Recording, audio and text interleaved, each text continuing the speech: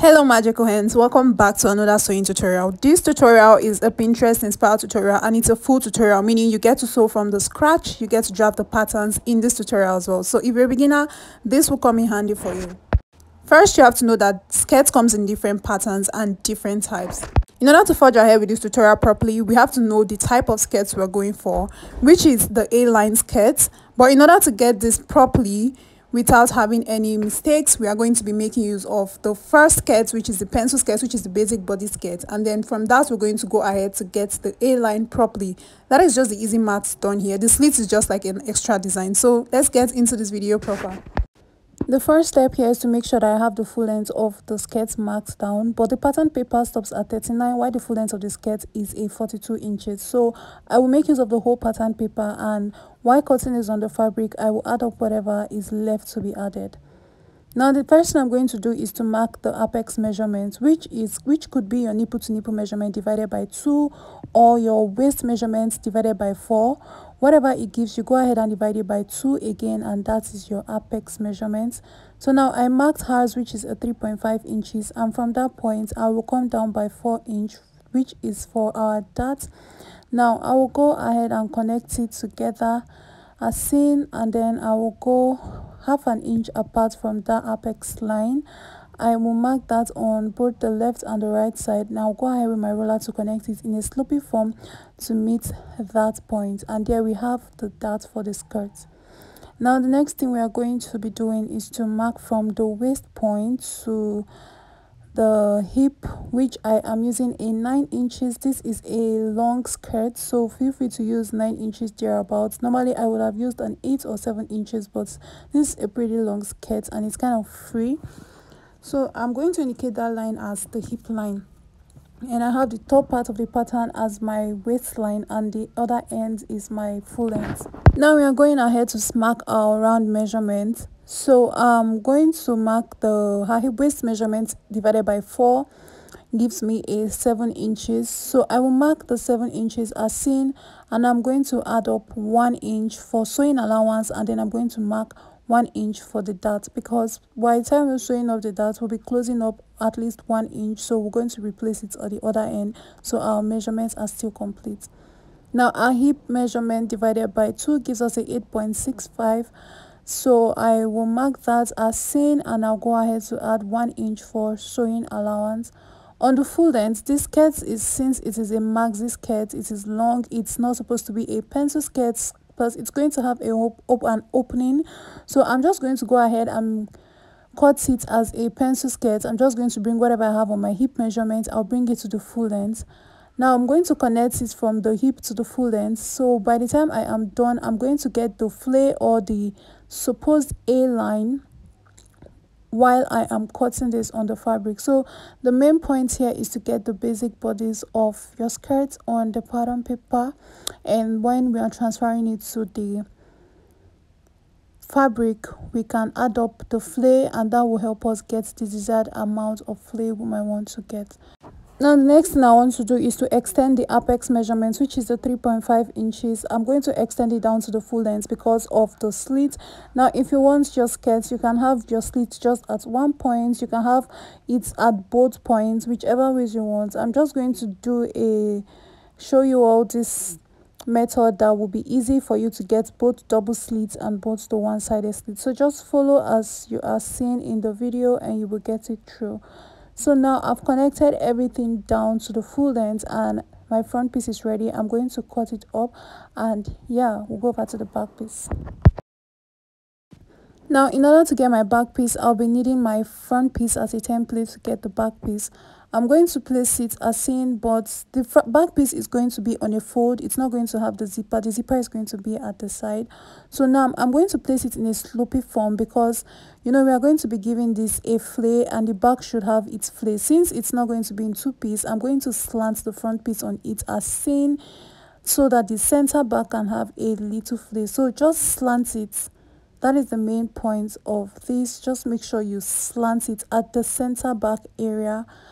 And yeah we're still going to add the flare of the hip side while cutting on our fabric. So now i'm just going to mark the line to indicate that that is the back and that extra line you are seeing is just the extra flare for the back piece because the back is supposed to flow a bit so it doesn't look too a at the sides and then the back is just left hanging. Now i'm going to start cutting this on the fabric. Like i mentioned the full length of the skirt is 42 inches but the pattern paper stops at 39 so i have extra measurements at the length which is to complete the full length including all the hemming allowance.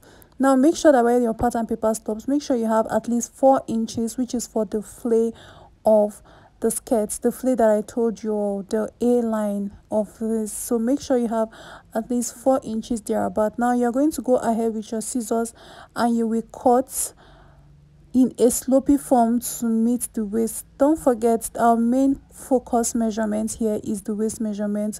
Whatever excesses is even on the hip measurements is nothing for you to worry about. You just have to focus on the waist measurement. Make sure the waist measurement is accurate. So don't be too quick to blend in this a line. Just take your time and go slowly. Don't be too quick to end it just take your time. Make sure everything is straight. Don't it's not too sharp. It's not too obvious that the a is pretty too sharp. So you can see i'm already closing up the a line the excesses and i made sure that the waist is accurate. So now that i have that i'm going to go ahead and chop off the top part and we have our back piece already. And yeah we'll move on to cutting the front piece for the front piece, I also placed my fabric in, in such a way that I will be able to get my full length. And for the front piece, I made it quite wider than the back piece. So now what I'm going to do is to slash up the slit line because the slit area is supposed to because of the slit area is supposed to be free so it is not too opened when she is standing.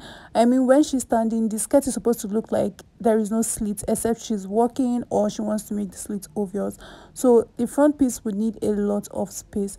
So now i'm going to open this up so i have enough space as much as i want.